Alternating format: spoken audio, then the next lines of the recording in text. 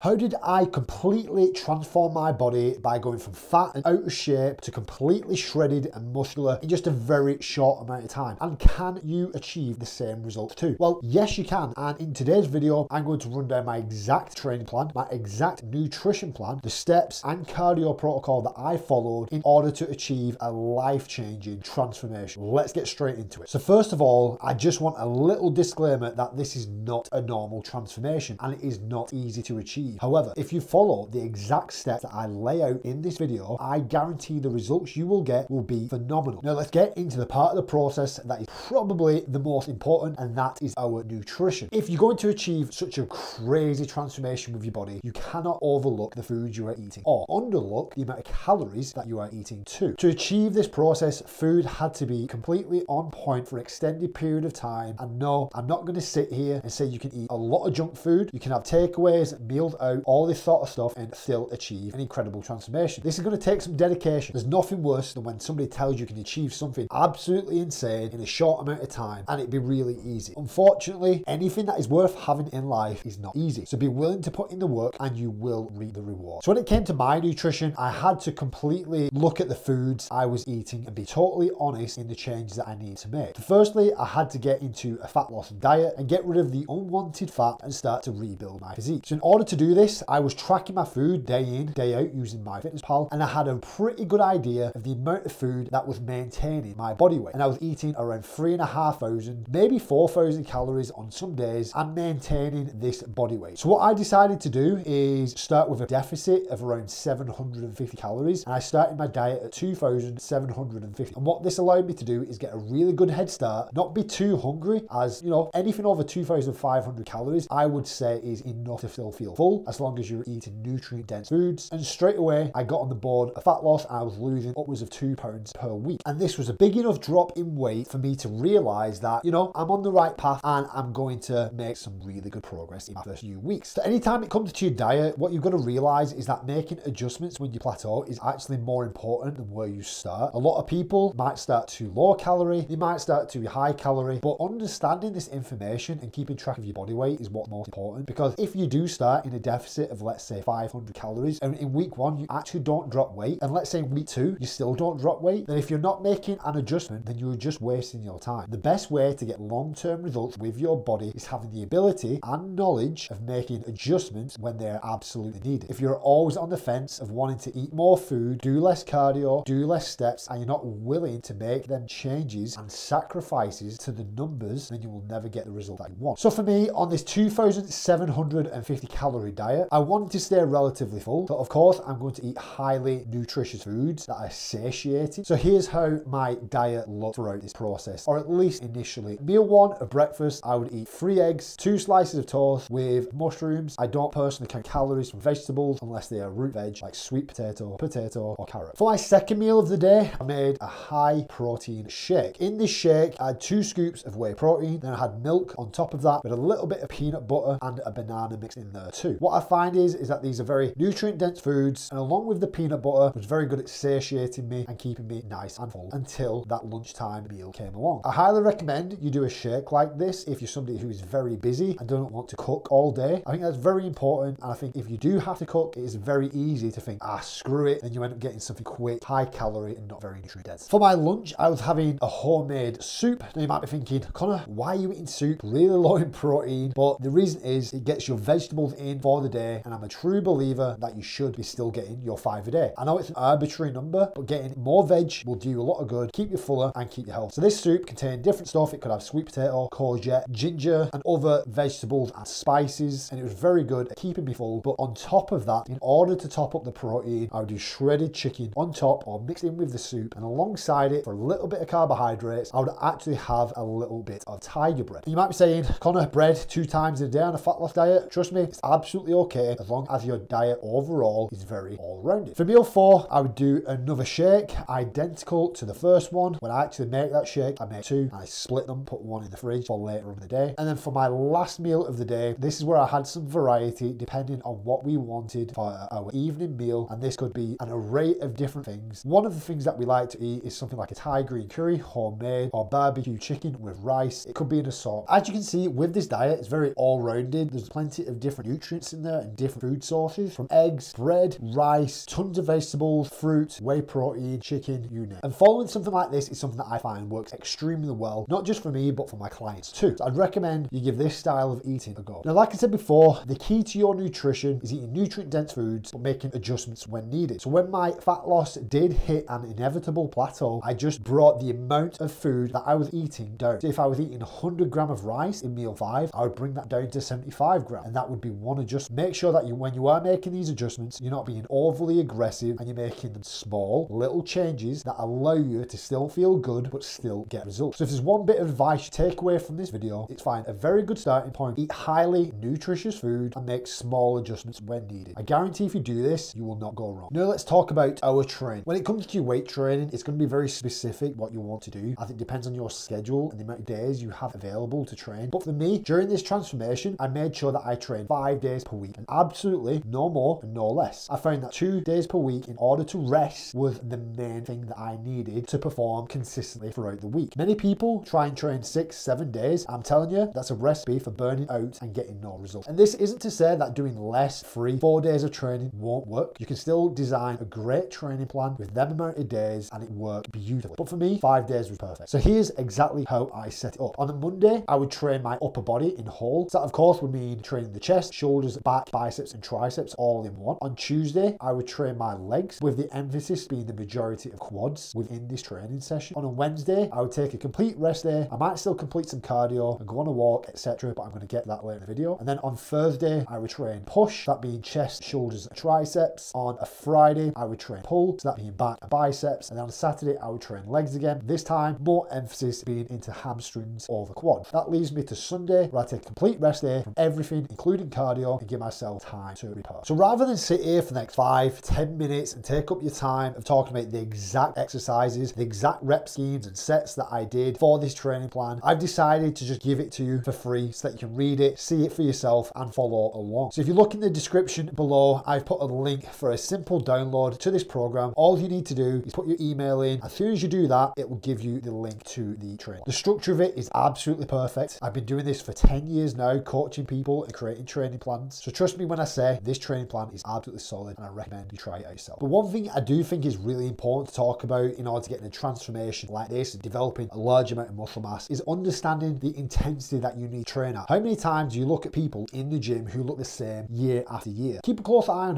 who they are training. I guarantee they're not training very hard. They're doing the same stuff week in, week out, lifting the same weight, doing the same amount of reps. It just doesn't work. So when it comes to your training and actually building muscle mass, you have to be pushing your body to the absolute max that you can. Don't sacrifice form in order to hit this failure point, but what you need to do is push yourself to as far as you can handle. If you're constantly trying to beat each set by one rep or one kilo, and you do this for an extended period of time, I guarantee your body has no choice but to grow and change. Doing this will allow you to build a greater physique and look better than you ever have. So make sure that when you're in the gym, you are working your absolute butt off and utilizing the amount of time that you do have. So that leaves us with cardio and steps. This is something I truly believe that you need to pay close attention to and be very accurate with every single day. So that one day you're not doing loads of output and then another day not doing a lot because you need consistency when it comes to transforming your body. You need answers, you need understanding. So when it comes to making these adjustments when you plateau, you have all the information in front of you. So for me, when I was doing my cardio, I kept it simple and I wasn't actually doing a lot. I was doing two sessions per week of a moderate intensity on the bike or cross trainer for 30 minutes at a time. I was working hard during these sessions, but I was working around 140 to 150 beats per minute on my heart rate and absolutely no more. For my steps, I built these up to around 10 to 11,000 per day. I found that this was just enough to see consistent results with my fat loss. I did have some days where I went above that and hit around 15, 16,000. But what I found is, is that for a day or two afterwards, my appetite was absolutely insane and I just couldn't satiate myself. So that told me that if I do too many steps, it actually makes the diet worse. As at the end of the day, we've only got so much willpower and if you burn extra calories from extra steps, you are in danger of eating them calories back and that is absolutely not the goal. So when you are creating your own cardio or step plan, make sure that it works for you, that it doesn't beat you into the ground and that you can get consistent results with. There's no point in doing two hours of cardio per day if it leaves you feeling run down, absolutely shitty, absolutely starving, and makes you fall off your diet every day. So some of the questions I get asked the most about my transformation is, is it possible possible for me to achieve or for you? And absolutely, yes, I'm a true believer and as somebody who's coached people for the last decade, that if you work hard enough at something, you find the right plan that suits you, then you're absolutely going to get results. It's just a matter of time. The people who get the best results are the ones who can stick to it the longest. And what I find a lot of the time is that people push too hard, too soon, and then fall off after a few weeks. It's just not worth it. So when you're looking at building your own transformation plan, look at something with longevity. I'd rather it take six months or even 12 months to completely transform my body rather than fall off every three weeks and see no results after that 12 months. At the end of the day, 12 months is going to go by. You might as well make it. Another question I get all the time is if I just follow what you did, Connor, will I get the same result? And the answer is no. However, you can take a lot away from what I did and incorporate it for your own transformation. For example, the free training plan that I've put below will absolutely work. If there's one thing I know how to do, it's write a good training plan. So if you follow that, I guarantee you will build more muscle. When it comes to the nutrition plan, that is something that is ultra specific to me based off my appetite, the foods that I enjoy, the amount of calories that I respond to. But for yourself, if you wanted to follow this, you could simply change the calories, change the amount per portion that you are eating to suit yourself. And within that, if you need to make a few adjustments and you don't like bananas, but you like apples, then do that. If you like white potato over sweet potato, then eat that. It's not rocket science. Figure it out for yourself. I guarantee you'll get there. So guys, there you have it. There is my exact transformation plan and how you can follow along too. And if you like this style of video where I talk about how to get insane results very quickly, then maybe consider subscribing to the channel as I'm always releasing similar videos to this one. If you like the video, maybe consider leaving a like on the video too. But for now, I'll see you all in the next